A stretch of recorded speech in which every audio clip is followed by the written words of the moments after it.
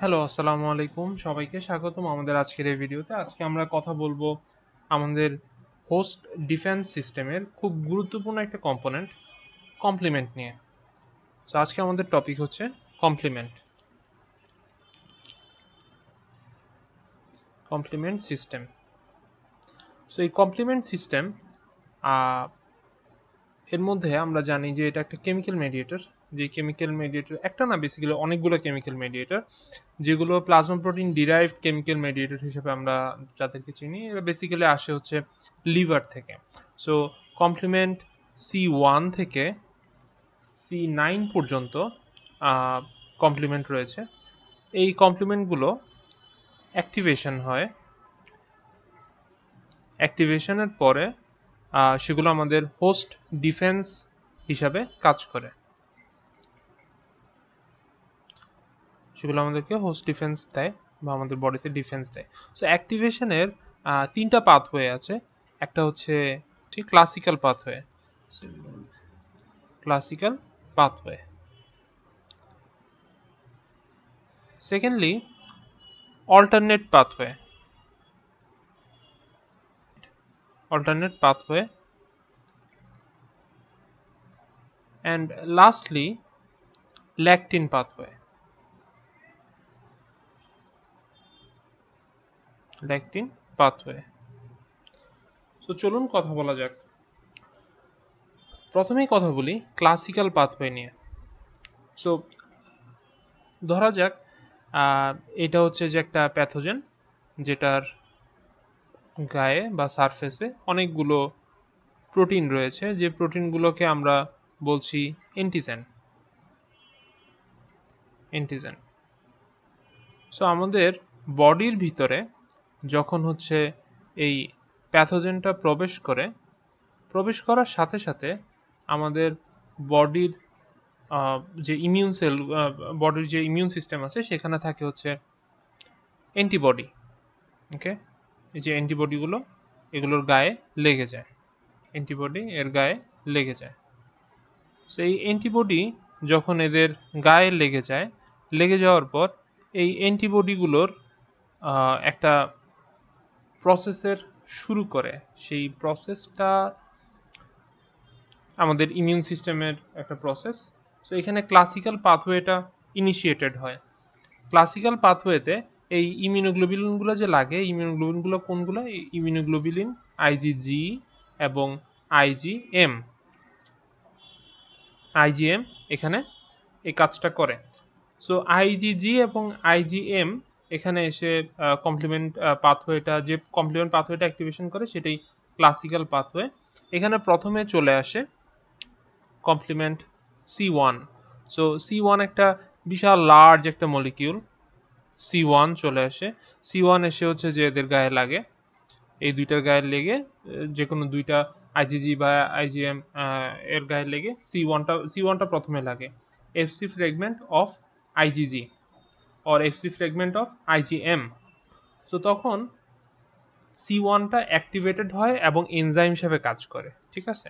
C ওয়ানটা কি হয়? অ্যাক্টিভেশন হয় অ্যাক্টিভেশন হয় অ্যাক্টিভেশন হয় এবং এটাই এনজাইম হিসেবে কাজ করে। সো প্রথমে সি ওয়ানটা কি হয়? অ্যাক্টিভেশন হয় অ্যাক্টিভেশন হয়। যখনই অ্যাক্টিভেশন হয়, তখনই সেটা কাজ করে হচ্ছে যে এনজাইম হিসেবে এনজাইম হিসেবে সেটা ফাংশন করে। সো দেন এই সি ওয়ানটা কি করে? সি ফোর আসে এখানে। এখানে আসে হচ্ছে যে সি ফোর সি ফোরটা এসে সি ওয়ান সি ফোরটাকে দুই ভাগে ভাগ করে। একটা হচ্ছে যে সি ফোর এ এবং হচ্ছে যে C four B C four A এবং সি ফোর বি অন্যদিকে সি টু আসে সি টু এসেও এখানে দুই ভাগে ভাগ হয়।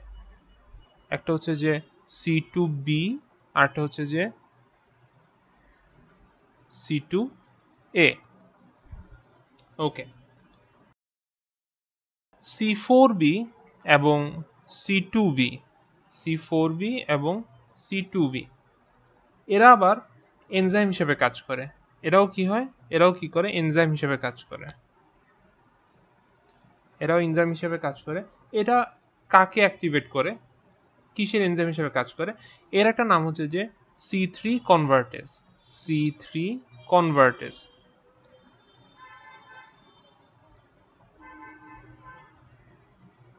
so এই সি থ্রি কনভার্টেজ এনজাইমের এখানে সি থ্রি যখন আসবে সি থ্রি এসে সে আবার দুই ভাগে ভাগ হচ্ছে।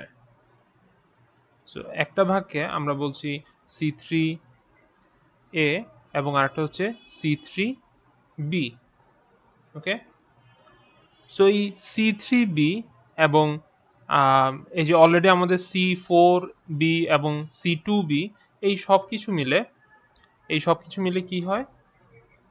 এই সব কিছু মিলেই ফর্ম করে C four B C two B and C three B okay এই একটা কমপ্লেক্স ফর্ম হয়ে গেল। এই কমপ্লেক্সটা, এই কমপ্লেক্সটার নাম কি?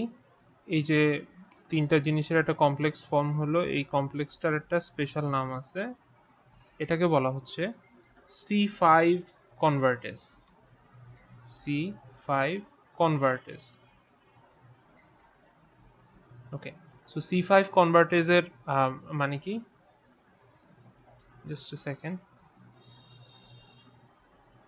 এটার নাম হচ্ছে C five convertase so C five কনভার্টেজের কাজ হচ্ছে যখন সি ফাইভ আসবে ওকে যখন সি ফাইভ আসবে সি ফাইভটাকে আবার হচ্ছে যেটা দুই ভাগে ভাগ করতেছে। একটা হচ্ছে সি ফাইভ এ এবং আরেকটা হচ্ছে যে C five B okay so এই সি ফাইভ বিটা বাকি কাজটা করবে। এই সি ফাইভ বি এর সাথে এসে জয়েন করবে সি সেভেন এর সাথে জয়েন করবে সি সিক্স এর সাথে জয়েন করবে সি এইট এর সাথে জয়েন করবে C nine okay so ultimately জিনিসটা কি হচ্ছে? আলটিমেটলি জিনিসটা হচ্ছে যে C five B C five B এর সাথে C six C seven C eight and C nine এই পুরাটার নাম, এই পুরো জিনিসটা, নামটা একটু পরে বলতেছি। এই পুরো জিনিসটা কি করবে? এই পুরো জিনিসটা কোথায় বসা?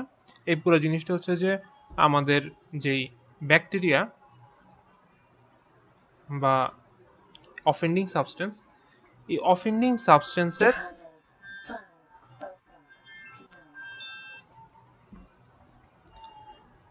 এই অফেন্ডিং সাবস্টেন্সের গায়ে এই জিনিসটা বসা।